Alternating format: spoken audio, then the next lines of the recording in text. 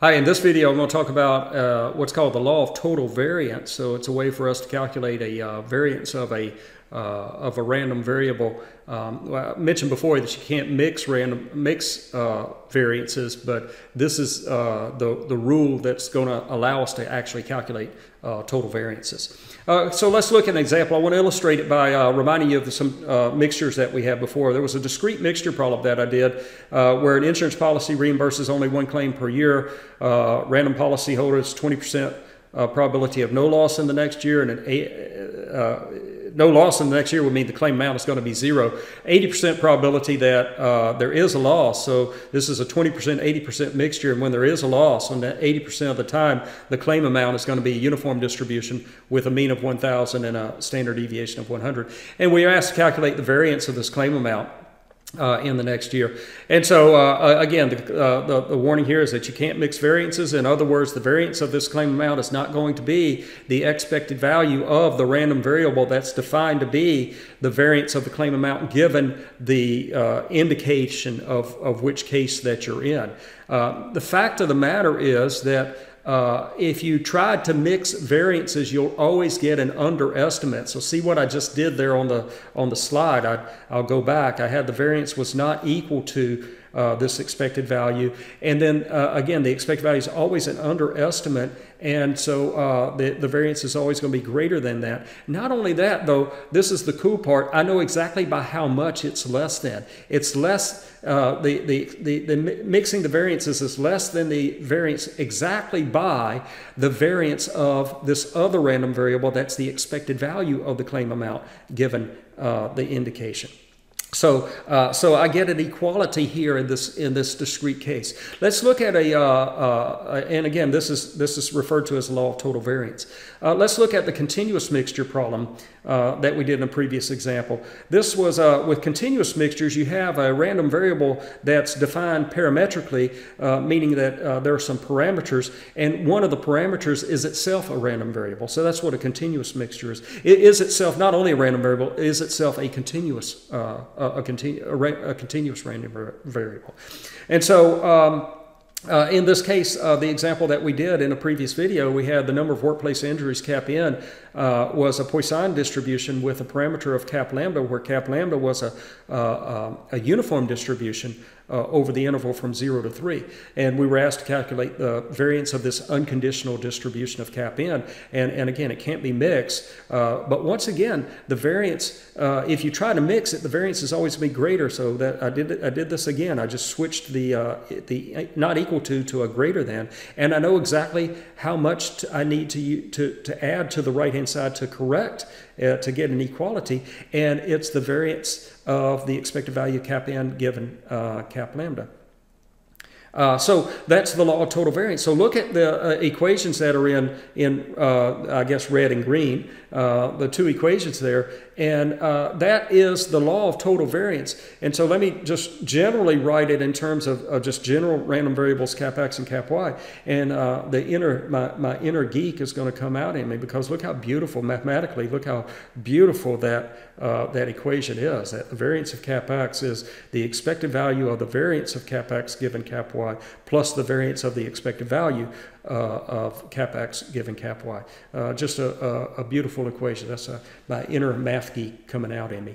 Okay, so let's apply this uh, law of total variance to the, uh, to the previous two problems that we did. This was the discrete uh, mixture problem. And uh, when we did this problem before, we didn't have, of course, we're going over the law of total variance now. We didn't have that. So the way we did this before was that we would mix first and second moments to get uh, and then use the fact that to, we would mix first and second moments to get the first and second moment of, uh, of the random variable, uh, in this case, the uh, random variable, I think is cap C is what I'm using as that random variable.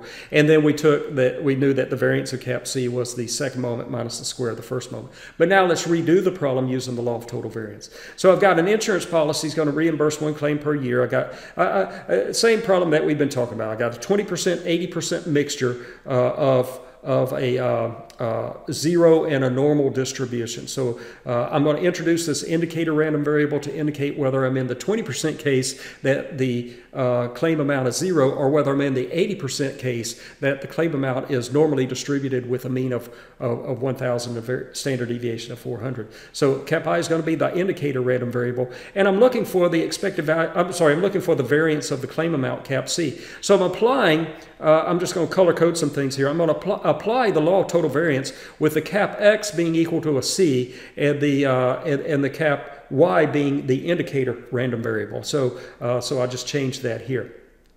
Okay, so that's, uh, uh, that's, that's what I'm uh, going to calculate. Now, look, in that rule, in the law of total variance, let me color code some things here. I'm taking the expected value of the variance of cap C given cap I plus the variance of this uh, expected value. So what's in green and what's in red are themselves random variables. I'm taking the expected value of the green one and plus the variance of the red one, but they are themselves random variables. And in, in this case, everything's discrete. Well, in, in this case, this is a discrete mixture. So I can think of these as discrete random variables uh, based on what the indicator is telling me. So the indicator may tell me that I'm, uh, my claim amount is a zero, or the indicator might tell me that the claim amount is a normal, and I know I got a 20%, 80% mixture here.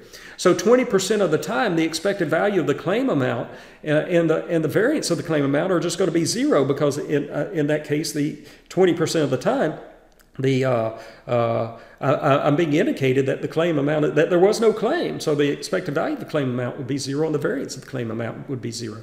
But in that other 80% of the time, when I have this normal distribution, the uh, expected value of the claim amount, if, I, if I'm in the case that it's a normal distribution, the expected value of the claim amount is 1,000 and the variance of the claim amount would be the square of the standard deviation or 400 squared. And so now uh, I'm taking, uh, you know, I just follow the directions in this law of total variance. So let me take out the, uh, uh, the colors here so you can see what I'm doing.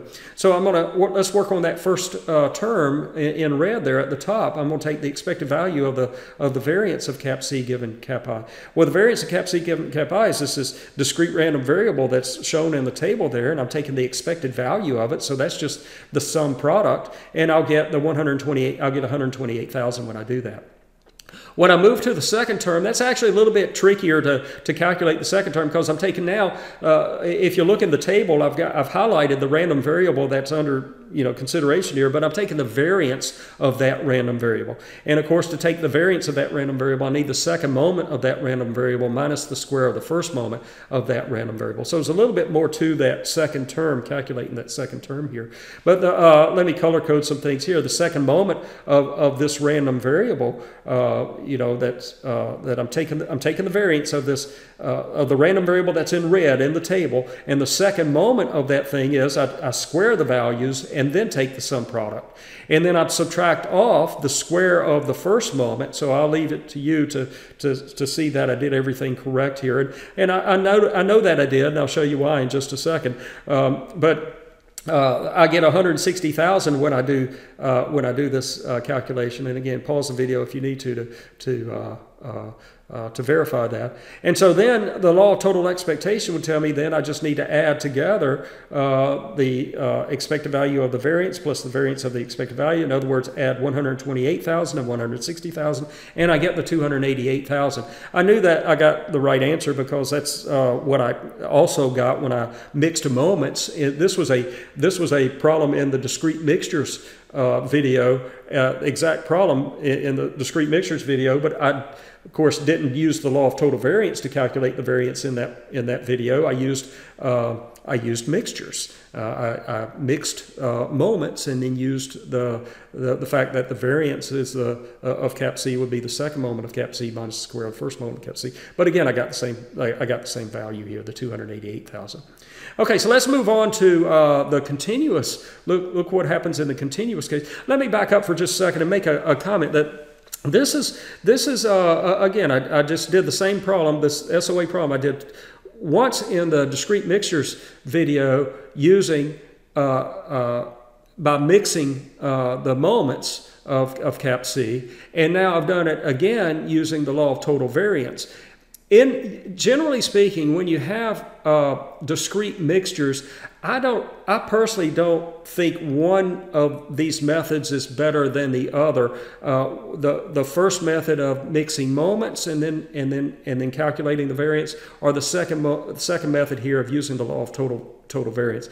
I don't. I don't generally see one as being any easier to do or, or more efficient or, or less time consuming than the other. In fact, mo- most time I, I probably just mix moments. Uh, I, I, I, would probably just mix moments in the discrete uh, mixture case. So now let's move to a continuous mixture problem. So this is um, uh, the problem I did, uh, the last problem I think in the video on continuous mixtures, this is where uh, cap n given cap lambda is a Poisson random variable with parameter cap lambda, uh, where cap lambda is uniform over the uh, uh, interval from 0 to 3.